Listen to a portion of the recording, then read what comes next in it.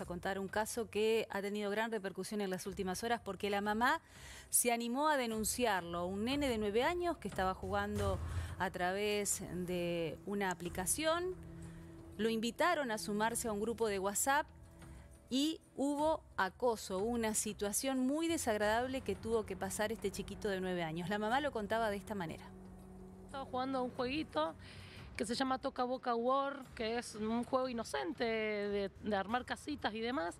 Y dice que le, llega una notificación una ruedita que tiene como de ajustes para que él escanee un QR. Eh, él ingresa ese QR, lo lleva a un chat que decía gays peruanos. Eh, y ahí le dispararon una videollamada y había un hombre que se estaba masturbando. Él me dice, se movía el pene de arriba hacia abajo. Claro, él no entendiendo el concepto de que se estaba masturbando y me dice, mamá, me pidió que le mostrara el pene, me dice, yo no se lo mostré y le corté, tengo miedo, me dice, estaba asustado, conmocionado. Entonces le digo, bueno, dame el teléfono a mí y ahí me pongo a investigar qué era lo que pasaba y vi que lo habían agregado al grupo y que, bueno, que estaban solicitando fotos, pedían que pasen el pack en modo efímero de chicos de 15 a, 30, a 20 años. Eh, la verdad que es aberrante. En la mañana me levanto, voy a la Fiscalía, General López y Saavedra. Bueno, eh, primero le comento al policía y después el policía me dice, me, tenés que hacer la denuncia online. Y me dice, si no, preguntarle a la chica que está en ventanilla. Entonces yo quería mostrar el celular, lo que estaba pasando. La chica de ventanilla me comenta, me dice, a mí me pasó lo mismo, algo similar hace una semana con mi hija. Lo reporté y lo bloqueé al grupo. Eh, pero bueno, la denuncia la tenés que hacer online porque nosotros acá no tomamos ese tipo de denuncia. Claro, yo salgo conmocionada de ahí, digo, ¿cómo puede ser que esté pasando esto? Porque la persona me seguía escribiendo, el pedófilo, y, nadie, me, nadie me pidió el celular para verificar, para chequear, a ver qué está pasando. Era que no lo entendía. ¿Sentiste desamparada? Desamparada totalmente. Iba por la calle caminando esas cuadras y digo, ¿cómo puede ser? Y ahí me agarró un estado de desesperación, empecé a llamar a la Interpol. No sé si fue exagerado o no, al Ministerio de Seguridad de la Nación. A las tres horas obtengo respuesta del Ministerio de Seguridad de la Nación. Me llamó eh, una chica, me dio el número de denuncia y demás. Recién ahí se pusieron en contacto conmigo. Y después de como tuvo tanta repercusión en los medios, más tarde, bueno, sí, se volvieron, se, contactaron el fiscal, Jorge, eh, no recuerdo el apellido, sí, eh, y bueno, indicándome que le están dando seguimiento a lo que pasó con mi hijo. El celular se lo quedaron, que era lo que yo quería. Quédense y, y, hablen con esta gente a ver si alguien lo pueden. Debe haber algún modo de atrapar, de atrapar a esta gente. Y en Santa Fe estamos con el fiscal Jorge Necier porque evidentemente eh, estamos todos expuestos, eh, pero acá estamos hablando de una situación muy particular porque es un nene de nueve años la posible víctima y también la necesidad de que la justicia pueda avanzar en este tema, Luciana. Exactamente, estamos hablando de un menor de tan solo nueve años que estaba jugando de manera online y que se termina encontrando ¿no? con esta red de pedofilia. Y para profundizar este caso estamos, como bien dijiste vos, Gisela, acompañados por el fiscal Jorge Necier. Bueno, Jorge, ¿con qué situación se encontraron ante la denuncia de esta mamá? Bueno, eh, más allá del caso concreto, digamos, del cual tal vez preferimos no dar mayores detalles, más allá de lo que son eh, las prevenciones lógicas que, que, sí resultan importantes de tener en cuenta ante este tipo de situaciones. Eh, venimos con una cierta preocupación desde hace un par de semanas cuando empezaron a circular comentarios, informaciones, tanto en los medios de difusión de la, de la zona, incluso desde Capital Federal también, y comentarios entre grupos de padres de colegios que... Eh, eh, hablaban o hacían referencia a que sus hijos pequeños, eh, aproximadamente de no más de 14 años, eh, se extendía hasta esa edad, eran invitados a participar de grupos de WhatsApp multitudinarios con distintos incentivos, como por ejemplo lleguemos a 100, lleguemos a 200, y una vez que estaban integrados a esos grupos, a través de la aplicación de WhatsApp, empezaban a mm, compartirse en, en, el mismo imágenes verdaderamente escabrosas, tanto de contenido sexual como en algunos casos de violencia extrema también. Eh, en el caso concreto de, esta mamá, eh, es una denuncia expresa que se lleva a cabo, donde se combinan ambas cosas, es decir, la participación o la invitación a participar de grupos de WhatsApp con, en este caso, también una intervención en una aplicación de juegos desde la cual hay un chat a través del cual se lo, se lo vincula para realizar esta videollamada. más allá de eso, en, en, la unidad fiscal específica que existe en el Ministerio Público de la Acusación, existen en curso investigaciones que concretamente respecto de esto no ha habido mayores denuncias en la ciudad de Santa Fe, salvo alguna aislada de la semana pasada, pero se llevan a cabo, bueno, indagaciones de oficio que hemos intentado iniciar a partir de la información que, circulaba en la ciudad.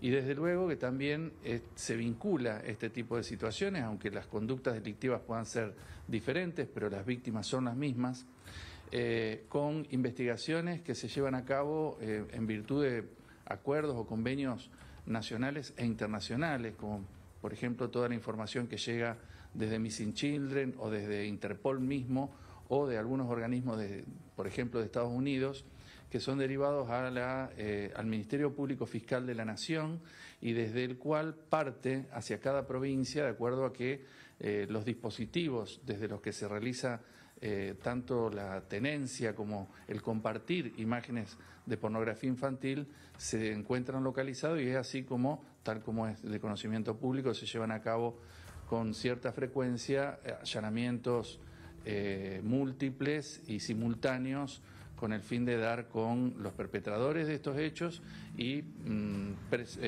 proceder a secuestrar los elementos que comprometen esa situación, como pueden ser dispositivos eh, informáticos, computadoras, celulares y en muchos casos eh, pequeñas o a veces grandes cantidades de unidades de almacenamiento de esta información que es compartida eh, a través de determinados canales, torrents de Internet y es ahí donde se configuran estas conductas delictivas.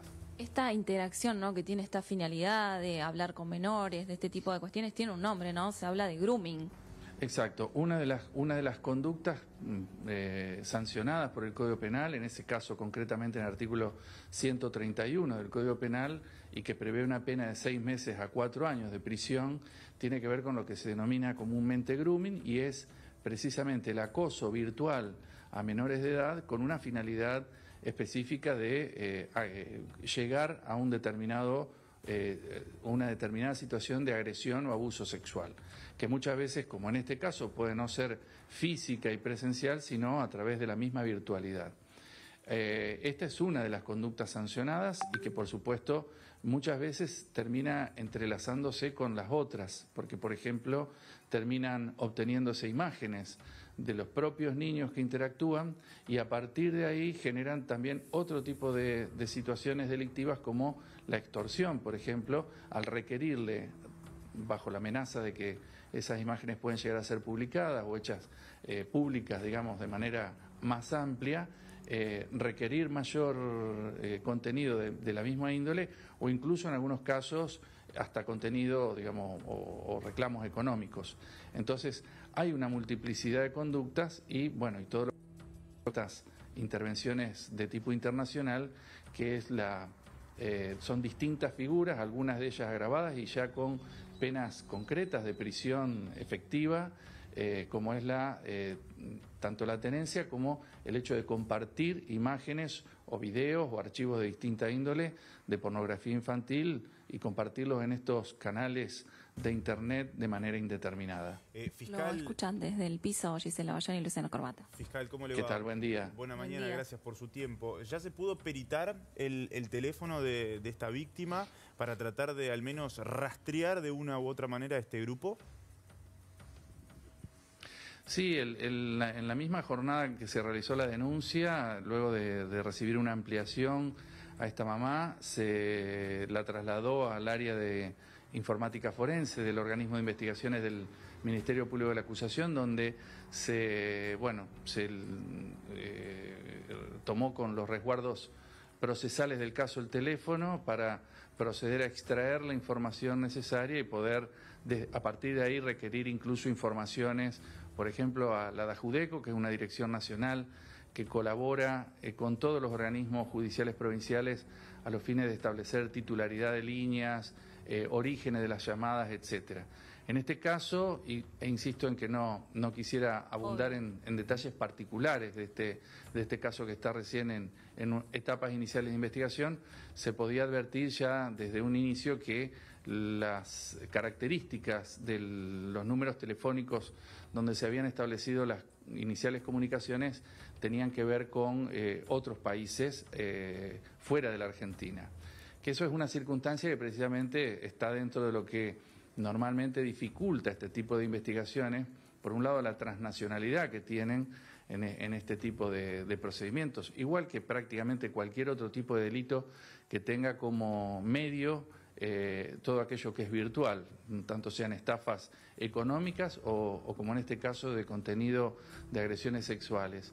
Doctor. Y por otro lado, por supuesto, también todo lo que es el desafío técnico, tecnológico y de capacitación de los fiscales eh, y de los investigadores eh, de las áreas policiales respecto de este tipo de, metodologías que indudablemente van muchas veces eh, a una velocidad mayor a la que puede la propia, el propio Estado tener como resguardo. Es decir, la conducta delictiva avanza con este tipo de procedimientos muy rápidamente y hay que estar a la altura para precisamente responder a ese desafío. Está claro. Doctor, la última. Eh, respecto a esto de que hay mucha gente que dice que le pasó lo mismo, pero a lo mejor no se anima a denunciar, no sabe cómo hacerlo, no sabe a dónde dirigirse. ¿Qué hacemos los papás, más allá de controlar ahora y con mucho más cuidado qué hacen los chicos en el celular? ¿Qué hacemos si nos encontramos con esta situación y a dónde vamos a denunciarlo? Correcto. Creo que es importante también, digamos, más allá de la denuncia, la forma en que podemos eh, los adultos preservar a nuestros niños de ese tipo de situaciones. Eh, hay formas de resguardo, obviamente cada vez es más difícil, pero eh, dentro de lo que significa tal vez una negociación con los niños de cederle un instrumento tan importante para otras cuestiones, pero tan riesgoso en algunas otras como es un teléfono celular o una computadora, bien, eh, hacerlo bajo determinadas condiciones. Por ejemplo, algún tipo de restricción en cuanto a la potencialidad que tiene una herramienta como una red social, como por ejemplo Facebook, eh, perdón, eh, WhatsApp, para limitar, por ejemplo, quiénes son los que lo pueden incorporar a un grupo, que sean solamente los contactos los que puedan acceder a la información de perfil de la línea o de la, de la línea de WhatsApp del niño. Eh, y que solamente los contactos y que sean de conocimiento de los adultos puedan ser quienes los invitan a formar parte de los grupos. Ahora, una vez que esto ocurre, y por supuesto, bueno, por supuesto un control, una limitación horaria, una determinada eh, restricción y control de los adultos sobre la utilización de estos eh, instrumentos. Y una vez que ocurre alguna de estas situaciones, en principio eh, no desesperarse, mantener la, la, calma. Siempre hay que tener en cuenta que indudablemente la persona que es víctima de estos hechos no fue seleccionada por eh, eh, a conciencia o por ser esa persona, sino que es dentro de una multiplicidad de, de, intentos que se realizan por parte de los perpetradores que, bueno, en algunos casos coincide que se da la circunstancia de que terminan siendo víctimas. Eso por un lado. Por otro lado, en lo posible, lo ideal es no continuar la interconexión o la interrelación eh, no seguir interactuando con la persona que no solo respecto de este tipo de hechos, sino de lo que fueran o pueden ser amenazas, secuestros virtuales o, cualquier otro tipo de, pretensión a través de las redes sociales o de, o de los medios digitales y directamente, bueno, ponerlo en conocimiento de las autoridades a través de los distintos mecanismos que existen, que bien, bien viene la oportunidad para repasarlos. Como sabemos, ante una situación de emergencia inminente, digamos, una situación donde existe un riesgo de violencia o de una agresión, o ha ocurrido recientemente esa violación, eh, esa violencia, eh, el llamado al 911 es lo más eh, apropiado, es lo que permite una respuesta inmediata y que las autoridades policiales se hagan presente en el preciso momento en que los hechos están ocurriendo o acaban de ocurrir. Si no existe esa urgencia eh, inmediata, eh, por supuesto siempre la comisaría, tanto del barrio como del pueblo, sigue siendo un espacio donde pueden receptarse, deben receptarse denuncias, aun cuando no sea la función eh, primordial de una comisaría y que además hoy está siendo suplida esa función por otros organismos, como por ejemplo el Centro Territorial de Denuncias, que depende del Ministerio de Seguridad y Justicia de la provincia y que en distintos espacios de la ciudad eh, se van multiplicando los mismos y de otras ciudades también, eh, permiten a través de personal capacitado, idóneo, receptar estas denuncias, puede acompañarse los elementos y evidencias con que se cuente, ya sean documentos, como imágenes, como capturas de pantalla, etcétera. Y, eh, e incluso eh, los mismos centros territoriales de denuncia están habilitados, obligados, podríamos decir, a informar a la Fiscalía si existe una necesidad, un resguardo de seguridad o de protección inmediato. Perfecto. Y en tercer lugar, algo que, y por último, digamos, lo, lo que también es tal vez más eh, sencillo y más práctico para muchas personas, que incluso lo pueden hacer durante las 24 horas del día sin salir de, su casa es la denuncia online, precisamente, que es a través de la página web del Ministerio Público de la Acusación. Eh, sí, la hemos estado compartiendo. Eh, sí, la hemos estado compartiendo para que la gente ah, justamente esté al tanto de este mecanismo, porque nos parece importante justamente difundir todo lo que permita estar atentos a este tema y sobre todo que la gente esté protegida y nuestros chicos estén protegidos. Sin dudas. Muchas gracias, fiscal. Le agradecemos por su tiempo. Que tenga buen día.